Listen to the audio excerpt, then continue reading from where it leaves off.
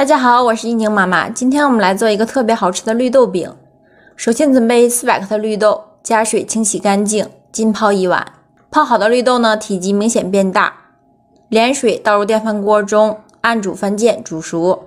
煮熟以后捞出，放入大碗中，加入一百五十克白糖，用勺子按压成绿豆泥，再倒入一个平底不粘锅中，开小火，慢慢的把绿豆里面的水分炒干。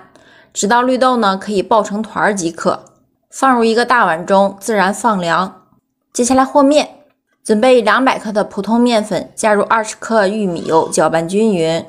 用一百克的常温水来和面，搅到没有干面粉时，下手揉成面团儿。揉成团儿以后，移到面板上，像洗衣服一样的揉搓，将面团揉透、揉光滑，最后是一个偏软的面团儿。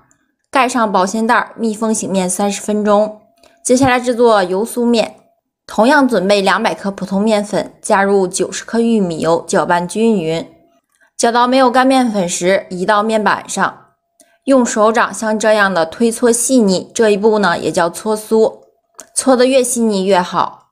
搓好以后，将它整理成团儿，同样盖上保鲜膜，密封醒面三十分钟。三十分钟以后呢，绿豆已经放凉了，我们用勺子挖一块。放入手中，捏成一个团儿即可。在面板上撒上一点面粉防粘。取出醒好的面团儿，千万不要揉面，将面团儿按压平整，放入油酥面，将油酥面团包裹起来，像包包子一样。包好以后，把多余的头给它按扁。上面再撒一层薄薄的面粉，先用手按扁，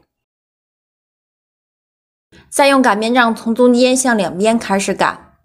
擀的时候呢，要轻轻的擀，以防呢把油酥擀破。擀好以后，像视频中这样折叠起来，折成三折。再用擀面杖从中间开始向两边擀，擀成一个长方形。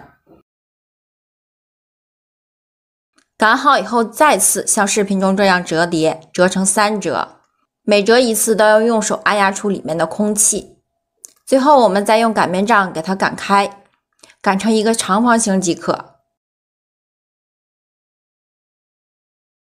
擀好以后，从底部开始卷起，尽量卷的紧实一些。卷好以后再搓一搓，分成同样大小均匀的面剂，面剂的大小呢，你可以随意。取一块面剂，先用手按扁，再用擀面杖擀薄。擀好以后，放上绿豆馅儿包起来，虎口转动，轻轻向上收拢，把口捏合严实。上面多余的面头呢，可以给它揪掉，这样可以使其薄厚均匀。再用手按压成一个小饼即可。做好以后，放入烤盘里，送入提前预热好的烤箱。这次我们只开下火，下火一百八十度烤十分钟。十分钟以后，给它翻面，再放回到烤箱里，一百五十度烤十分钟。这样我们的绿豆饼就做好了。做好以后呢，将它放到烤架上，彻底的晾凉。家里没有烤箱的话，可以用平底锅或者是电饼铛，小火烙五分钟左右，味道吃起来也是特别的好。或者呢，你也可以用空气炸锅来烤制。炎热的夏天呢，我们要多吃一些绿豆。绿豆呢可以清热去火，喜欢的朋友可以点赞收藏起来。我是一宁妈妈，我们下期见。